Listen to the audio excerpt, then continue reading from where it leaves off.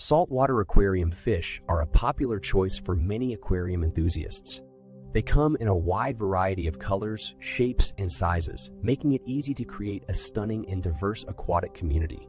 Some popular species include clownfish, tangs, angelfish, tangs, angelfish, and triggerfish. When setting up a saltwater aquarium, it's important to create a healthy and stable environment. This includes using a high-quality salt mix, proper filtration, and maintaining the right temperature and pH levels. It's also important to regularly test the water to ensure these levels are within acceptable limits. Saltwater aquarium fish are typically fed a variety of foods, including frozen, dried, and live options.